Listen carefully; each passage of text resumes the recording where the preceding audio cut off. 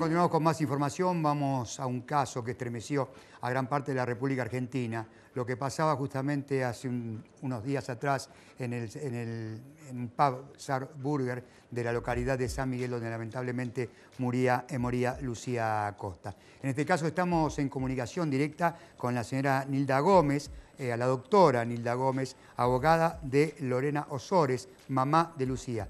Nilda, un gusto tenerte aquí en pantalla. Eh, gracias por estar. Hola, ¿cómo estás? Gracias a vos. Bueno, está siempre igual, eso te decía recién por, por línea de teléfono, ¿no? Gracias. Eh, bueno, un caso lamentable este, eh, un caso más vivido con, los, con nuestros jóvenes, ¿no? Desgraciadamente es un caso que se repite, digamos, de manera imprevista, aleatoria. Eh, hoy es Lucía, la que llora es la mamá, Lorena, el papá, eh, los hermanos, los tíos, toda la familia. Pero esto de aleatorio significa justamente que hoy son ellos, ¿no? Pero eh, si estamos sin controlar, sin atacar con la prevención, sin hacer las cosas como corresponden, vamos a tener otros casos, porque venimos desde el caso de Kate, anteriores, Cromañón, Beara, el caso de Miguel Ramírez en, el recital de la Renga en el Autódromo de La Plata, los chicos, este, los esposos de María José y de Mariana en el recital de Indio, eh, Sergio, Sergio Correa, que casi pierde la vida en manos de, de, patobicas, de controladores de la el Camelot de, de, Malvinas Argentinas. Es decir, son situaciones que se van reiterando porque, bueno, no nos vamos preparando como corresponde, no estamos a, a la altura de, los, de las circunstancias. Esto era algo absolutamente previsible, era algo que no tenía que suceder, es algo que se podía haber evitado, por lo tanto está, eh, digamos, el que hable de accidente está muy, muy equivocado, porque esto sí se podía haber evitado, esto no tenía que suceder. Vos imaginate que esto sucede en un bar que no tiene salidas de emergencia, que por el único lugar que ingresaban era por el que tenían que salir, que para al patio del fondo tenían que atravesar un pasillo de 5 metros de longitud, pero que era como una puerta, y que además tenía mesas y que en cada mesa tenía como un adorno que era un centro de mesa que tenía un mechero con combustible, que se vaciaba el combustible, había que rellenarlo y encender con, el, con fuego. En un lugar donde había medias sombras, donde estaba todo sanitizado con alcohol en gel, donde te ponen alcohol en gel cuando llegas, como en cualquier otro negocio, donde los chicos llevan alcohol en gel en sus carteras, en, en su bolsillo de los pantalones o de la ropa, es decir, estamos previendo, digamos, estamos previniendo el COVID, entonces sabemos que el alcohol en gel es algo necesario. Y a esta gente se le ocurrió poner como centro de mesas algo con una posibilidad de combustión inmensa, altísima. Eso por un lado, digamos, lo loco e irreverente de la situación que te muestra realmente el desprecio por la vida de los dueños. Y ahí viene el problema, de los dueños. ¿Qué dueños? Y bueno, la verdad que figuran unos en unos papeles, en otros papeles figuran otros. Hay uno que hace las veces de dueño, pero no tiene nada a su nombre. El que tiene algo a su nombre tiene una parte. Hay una cajera que tiene una parte del... Nilda, sí. ¿los dueños que figuran en la denuncia son realmente los dueños de ese lugar?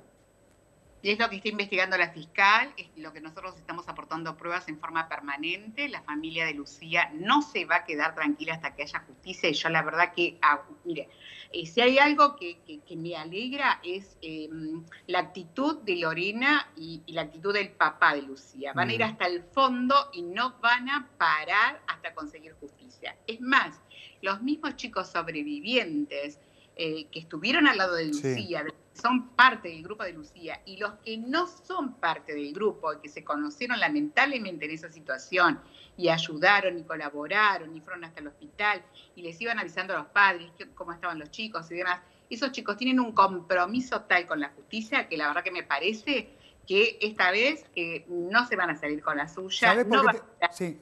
¿Sabes por qué te pregunto? Porque han aparecido tantos nombres este último tiempo y, los que vivimos en San Miguel muchas veces sabemos las cosas de quién es uno, quién es otro, pero han aparecido tantos nombres distintos eh, al frente de ese local, por eso te preguntaba si ya están detectados quiénes son los, los verdaderos propietarios de este lugar, ¿no? Por eso te preguntaba.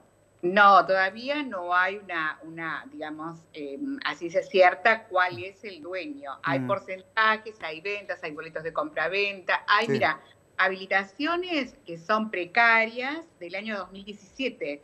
Después, en el 18, hay otro tipo de habilitación. Después aparece un boleto de compraventa en favor de la cajera, que está imputado, obviamente son cuatro los imputados.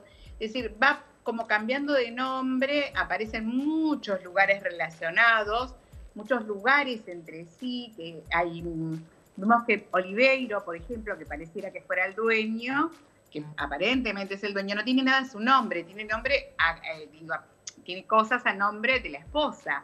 Entonces, bueno, hay claramente, eh, obviamente estamos trabajando también con la FIP, estamos trabajando de todas las maneras posibles para cruzar todo tipo de información y que no se escape nada. Lo importante de esto es que se está siguiendo justamente este tema, ¿no? Que lo importante que no, que lo importante de todo esto que se esté siguiendo este tema eh, eh, hasta llegar a la última consecuencia, como, como vos decías, ¿no?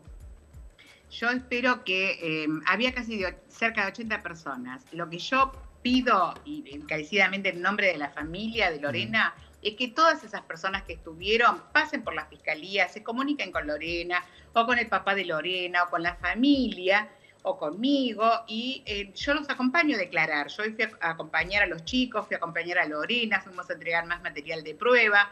Realmente tenemos una, una comunicación muy fluida con la fiscal. Hoy hay, ya se empezó con el quinto cuerpo a trabajar, es decir, el quinto cuerpo se llama del expediente, ¿no?